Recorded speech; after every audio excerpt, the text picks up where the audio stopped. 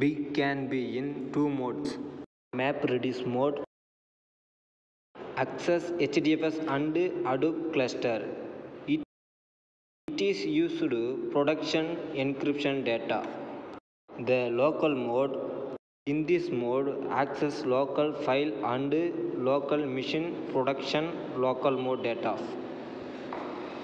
This mode used for testing locally and speeding up development. Pig logins.